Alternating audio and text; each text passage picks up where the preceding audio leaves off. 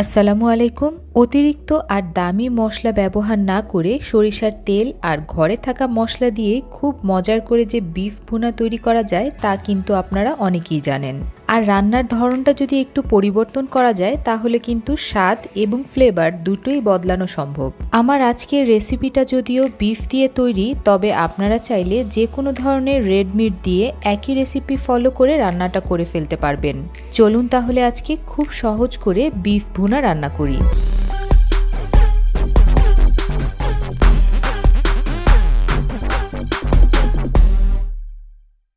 শুরুতে যে কাজটা করতে হবে, আমাকে কিছু পেঁয়াজ ব্রাউন করে ভেজে নিতে হবে। পুরো রান্নাটা যেহেতু আজকে সরিষার তেল দেওয়া হবে, তাই প্রথমেই এক কাপ সরিষার তেল নিয়ে নিব। আজকে রান্নার জন্য আমি এসিআই পিওর সরিষার তেল ব্যবহার করছি। তেলটা প্যানের মধ্যে ঢেলে দিয়ে চুলার আঁচ একটু বাড়িয়ে অপেক্ষা করব। তেলটা ভালোভাবে গরম হয়ে ধোয়া ওঠা পর্যন্ত। সরিষার তেল দিয়ে কোনো কিছু রান্না করতে গেলে এই কাজটা আমি সব সময় করে থাকি। এতে করে তেলের অতিরিক্ত ঝাঁজ অনেকটাই কমে আসে। ধোয়া ওঠার পর চুলার আঁচটাকে বন্ধ করে দিয়ে তেল একটু ঠান্ডা করে নেব। তেলটা ঠান্ডা হয়ে আসলে আবার চুলা অন করে দিয়ে এবার দিয়ে দিচ্ছি প্রায় দেড় কাপের মতো পেঁয়াজ কুচি। অল্প আছে, ব্রাউন করে পেঁয়াজটাকে ভেজে নেব আর যতক্ষণে পেঁয়াজটা ভাজা হচ্ছে, চলুন আপনাদের সাথে আরেকটা বিষয় শেয়ার করি। আমার অনেক দর্শক আমাকে ইনবক্স করে জানিয়েছেন আমি যে মেজারিং চামচগুলো ব্যবহার করি, তার সাথে বাড়িতে থাকা সাধারণ চামচগুলোর ব্যবহার করে মশলা নিলে কি পার্থক্য হয়? অথবা সাধারণ চামচগুলো দিয়ে মশলাগুলো কি খুব বেশি ভরে নেব নাকি সমান সমান করে নেব? চলুন আজকে আপনাদেরকে একটা ধারণা দেওয়ার চেষ্টা করি। আমরা যে চামচগুলো ব্যবহার করি, সেই চামচের নেয়া মশলা সাধারণ চামচের মধ্যে রাখলে সেটা সাধারণ চামচের কতটুকু অংশ জুড়ে জায়গা নিতে পারে? আর এটা বোঝার জন্য আমি আমার মেজারিং চামচ দিয়ে প্রায় সমান করে এক টেবিল চামচ মরিচের গুঁড়া নিয়ে নিচ্ছি। এরপর সেই এক টেবিল চামচ মরিচের গুঁড়া আরেকটি স্টিলের টেবিল চামচের মধ্যে নিয়ে দেখাচ্ছি এটা আসলে কি পরিমাণ জায়গা নিতে পারে। পুরো বিষয়টা আপনাদেরকে দেখে বুঝে নিতে হবে। এক টেবিল চামচ মশলা নিতে চাইলে আপনার টেবিল চামচ দিয়ে কতটুকু ভরে মশলা তুলতে হবে বা নিতে হবে। মোটামুটি একটা ধারণা দেওয়ার চেষ্টা করলাম। ভবিষ্যতে অন্য কোনো ভিডিওতে আরও বিস্তারিত বলা যাবে। ওদিকে আমার পেঁয়াজ ব্রাউন হয়ে গিয়েছে, এখন এগুলোকে তেল ঝরিয়ে তুলে নেব এবং প্যান থেকে তেলটাও আলাদা করে তুলে রাখব। রান্নার জন্য আজকে আমি দেড় কেজি বিফ ব্যবহার করব। এখানে তেল, চর্বি, হাড় সবই আছে। এবার মাংসগুলোকে রান্নার প্যানে নিয়ে নেব। বাটা মশলার মধ্যে যাবে তিন টেবিল চামচ আদা বাটা এবং দেড় টেবিল চামচ রসুন বাটা। গুঁড়া মশলার মধ্যে ব্যবহার করব দেড় টেবিল চামচ মরিচের গুঁড়া, এক চা চামচ হলুদের গুঁড়া, হাফ টেবিল চামচ ধনিয়ার গুঁড়া এবং এক চা চামচ জিরার গুঁড়া। আর হ্যাঁ আজকে কিন্তু আমি সবগুলো গুঁড়া মশলাই ব্যবহার করছি এসিআই পিওরের গুঁড়া মশলা।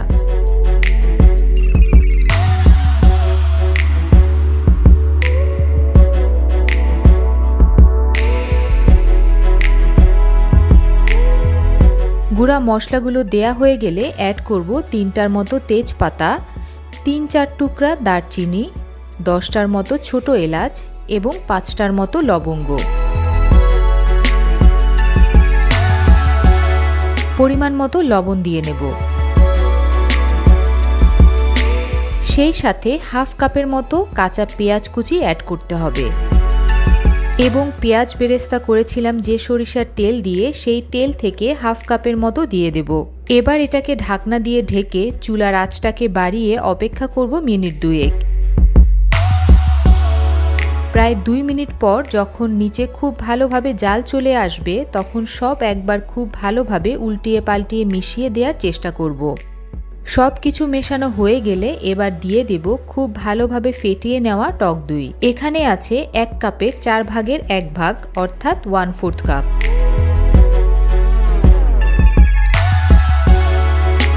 এবার প্যানটাকে আবারও ঢেকে চুলার আঁচ মিডিয়াম আর লোয়ের মাঝামাঝি নিয়ে এসে রান্না করব আরও দশ মিনিট।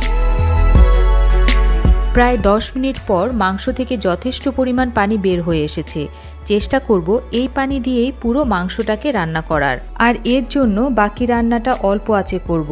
আর মাংসটা সেদ্ধ হতে যদি আরও পানির প্রয়োজন হয়, তাহলে কিছুটা গরম পানি ব্যবহার করব। ঢেকে দিয়ে এবার অপেক্ষার পালা মাংসটা সেদ্ধ হয়ে আসা পর্যন্ত। প্রিয় দর্শক, এই মাংসগুলো সেদ্ধ করতে আমার পুরো সময় লেগেছে প্রায় পঞ্চাশ মিনিটের মতো। মাঝখানে আমি প্রায় এক কাপের মতো গরম পানি ব্যবহার করেছি। এই অবস্থায় এর মধ্যে দিয়ে দিব ব্রাউন করে ভাজা পেঁয়াজ বা বেরেস্তা। এবং সেই সাথে হাফ চা চামচ গরম মশলার গুঁড়া।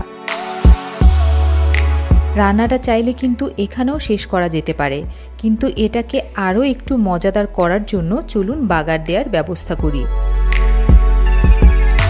একটি ফ্রাইং প্যানের মধ্যে আমি এক কাপের চার ভাগের এক ভাগ, অর্থাৎ ওয়ান ফোর্থ কাপ সরিষার তেল নিয়ে নিচ্ছি। তেলটা গরম হয়ে আসলে দিয়ে দিব হাফ কাপ পেঁয়াজ কুচি, এক টেবিল চামচ রসুন কুচি, এক টেবিল চামচ আদা কুচি। সেই সাথে অ্যাড করব চার পাঁচটা শুকনো মরিচ, ছোট ছোট টুকরা করা। আর এই মরিচগুলোর বিচি কিন্তু ফেলে দিয়েছি। এবার ব্রাউন হওয়া পর্যন্ত একটু ভেজে নিতে হবে।